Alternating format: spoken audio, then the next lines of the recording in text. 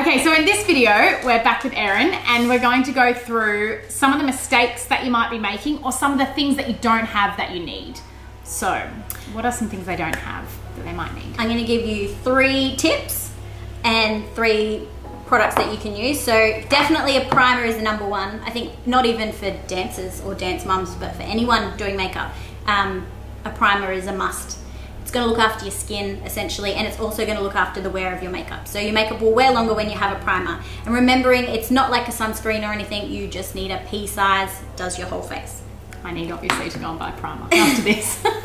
Next one is a setting spray. So again, we're talking about the long wear under your lights. They're dancing obviously, so they're getting a little bit hot and sweaty. Your primer and your setting spray almost come as a set. You want to have that to finish everything off. So this one, like it just sprays a continuous mist. You can get ones, I quite like the Rimmel one as well. That's a um, like a pump action one. It lasts really like a really nice long time. You can get ones that are a little bit more dewy finished or some that are a little bit more matte. I feel like the MAC ones, for example, are a little bit more dewy, whereas you get a bit more of a matte wear from the Morphe and the Rimmel.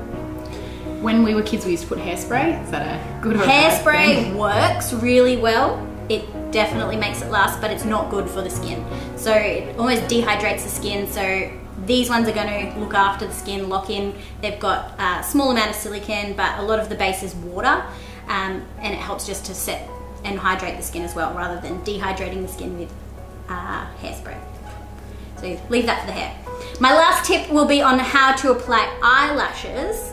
So I've got a set of just the red cherry lashes. These are a nice natural one. They're the 747M, so they come in small, medium, large. That's what the M for, the medium. Um, these ones slightly graduate from short to long. So one tip, first tip is that obviously when you peel them out of the packet, they have already got a small amount of adhesive on them that keep them in that rounded shape. So you don't want to glue that straight onto the eye. You want to peel off, so slightly pinching and peeling off any of the adhesive that's already on the lash because it makes it really bumpy and clumpy when you're gluing it onto the lash line where you want it to be really clean and seamless right against the eye. So peel all that off, off first. Next you want to make sure that it fits the eye. So you want to measure with I'm going to use Lauren as a model. We're going to measure, so you want to get them to close the eye, uh, measure from the inside corner to the outside corner, and you've got little beads on these where the lashes join. So you want to measure how many you might have to trim. It's important that you trim the lashes to the shape of the eye or the length of the eye. Otherwise, that's why they start to lift because you've left them too long, and as they're blinking and the eyes are moving, it's bouncing off the corner of the eye and it starts to peel off and that's where you're going to lose a lash. So for example, say I had to trim this, I'm going to go for three. Um, you can, when they graduate from short to long, essentially with lashes the point is to give your eyes a little bit more volume and a bit more length and if you're trimming from the outside corner where they're longer, you're losing all the length.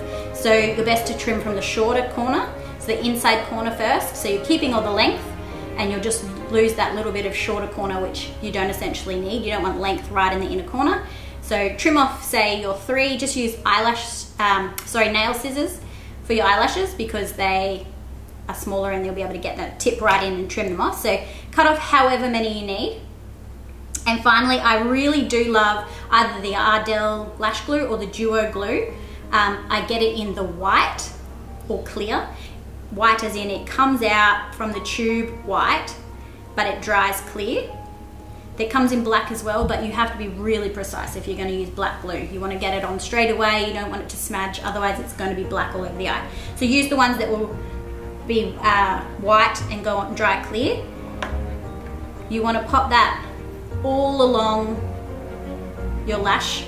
So holding, I hold the center of the eyelash and run the seam all through the glue and right on the tips. So dipping the tip of the lash and the other end of the lash right in, making sure the glue's all along the seam. Give it about 20, 30 seconds to dry so it gets a little bit more tacky. That way, as it hits the eye, it's gonna start to glue straight away and it won't smudge on the eye if the eye's gonna move. And when you're gluing it on, you wanna hold from the very center of the eyelash. So rather than holding on the, the either end, hold down the center because that's where you're gonna place it on the eye first. You're gonna place it onto the center of the eye lash first. So pressing down and into the lashes or onto the lash because the seam is going to glue onto the skin. And then worry about gluing the new corners. So once it's on there, tuck in the corners, make sure it's nice and close. Uh, you can use, say, the end of your brushes or a dry cotton tip just to use that to press the corners to make sure it's all glued in. And that's my lash tips. That's amazing. Thank you. Well done.